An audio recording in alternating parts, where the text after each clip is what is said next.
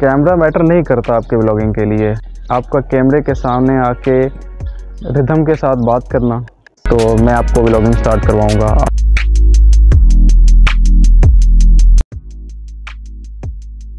इस वक्त जिस कैमरे से मैं ये वीडियो रिकॉर्ड कर रहा हूँ, वो शायद कि आपको लग रहा हो कि डी एस एल आर है।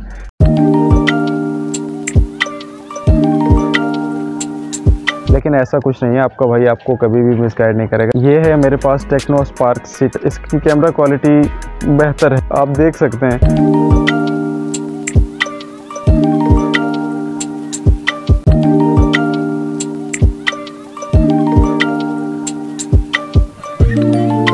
इसमें कुछ मैंने एक्स्ट्रा सेटिंग्स की हुई हैं, ताकि प्रोफेशनल लगे सिनेमैटिक लगे। तो मैं आपको प्रेफर करूँगा आपके पास जो भी स्मार्टफ़ोन है। अगर आपके पास आईफोन है तो वो ज़्यादा अच्छा होगा। उसके अंदर ऑटो स्टेबलाइजेशन होती है उसके अपने कैमरे में। तो अगर तो आप डी एस अफोर्ड कर सकते हैं तो वो भी बेहतर है।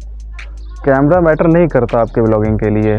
आपका कैमरे के सामने आके रिदम के साथ बात करना।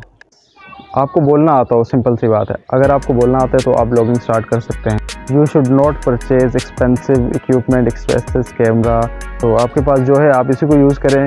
टैलेंट इस लड़के के अंदर है, जिसे मैं देख रहा हूँ। जी, मैं आपकी बात कर रहा हूँ। तो आप स्टार्ट करना चाहते हैं स्टार्ट करें। हज़ारों रीज़न हज़ारों एक्सक्यूज़ आपके माइंड में आते होंगे।